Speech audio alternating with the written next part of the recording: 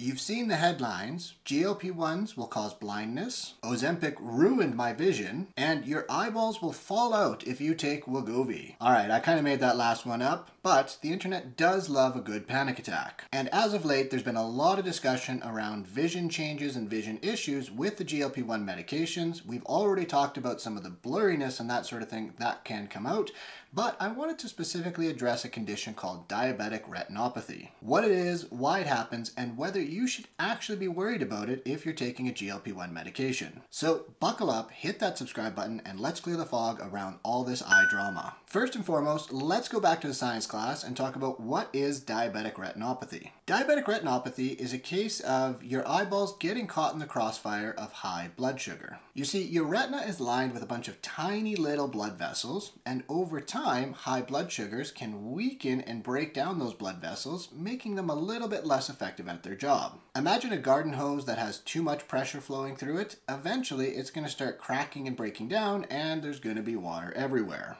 And that's what can kind of happen inside of your eyes if you have diabetic retinopathy. And if it's left untreated, what can happen is blurry vision, dark spots in your vision, as well, in worst case scenarios, blindness. Now, if you're thinking, great, now I'm stressed out and my blood sugar is starting to rise just because of this video, I want you to relax, take a couple of big deep breaths, and just chill out because we're going to get into the science some more.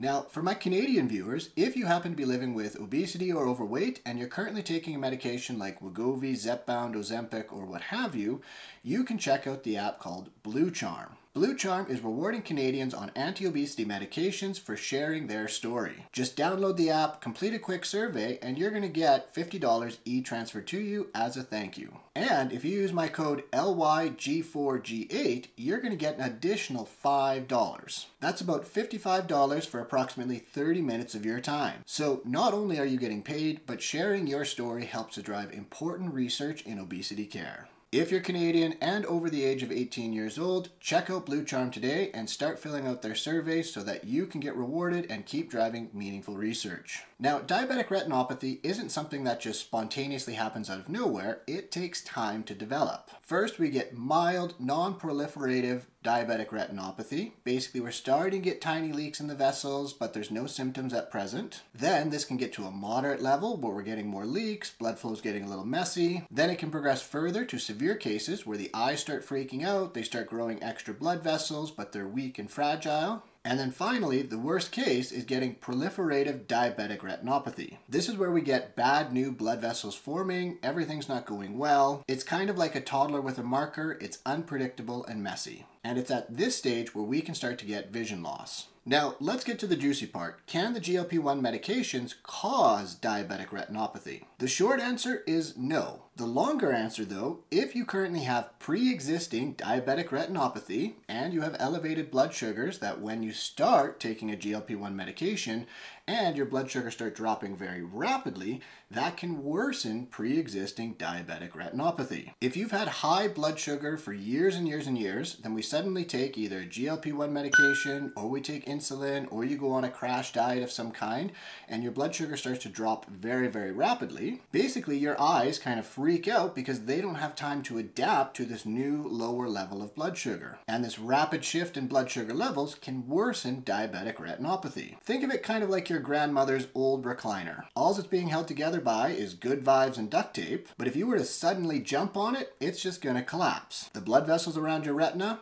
kind of undergo the same deal. So, do you need to actually worry? If you don't currently have diabetic retinopathy, you're good to go. You don't need to stress out. If you already have retinopathy, then you need to be talking to your doctor before making any big shifts in your blood sugar management. Again, it's not the GLP-1 medications that are causing the issue and worsening it, it's the rapid decrease in blood sugar levels that causes the problem. And so it's going to be with any other medications that can lower your blood sugars, or if you suddenly decide to start eating cauliflower pizza crust. So, as always, people really need to stop throwing the GLP-1 medications under the bus and start thinking more in the sense of what can we do to slowly reduce blood sugar levels over time?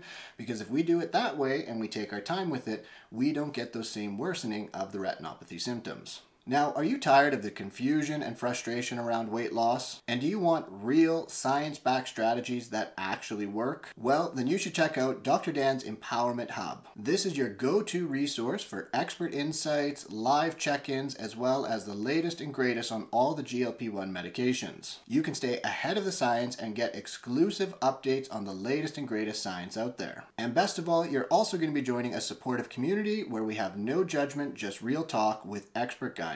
So if you want to transform your health and start making real changes starting today, then check out all the links down below. Check out Dr. Dan's Empowerment Hub and sign up. Your first seven days are completely risk free. I know you're ready and I can't wait to see you there. Now, if you're not even sure to begin with whether you have retinopathy, high blood sugar, or if you're at risk for any of these things, well, the first thing you need to do is start talking to your healthcare providers. That's going to include talking to your family physician and going to your optometrist and getting your yearly eye exam, even if you think your vision is currently fine. And if you have elevated blood sugars at present, what we want to do is be taking our time to bring those blood sugar levels down, make sure it's nice, controlled, and well supervised to make sure there's no rapid shifts in blood sugar levels. And of course, if you have any other comorbid conditions such as high cholesterol or high blood pressure, we need to be taking care of those too because they are just as important for overall eye health and your health in general. Now, to bring this one into land, diabetic retinopathy is not caused by the GLP-1 medications like Wegovy and Zepbound. It is caused by years of high and elevated blood sugar levels damaging the tiny little vessels around your retina. And it's going to be the rapid drops in blood sugar, whether it's from a GLP 1 medication, insulin, or some other method that you're using, that is going to possibly worsen current retinopathy. So, does this mean you should freak out and stop taking your medication?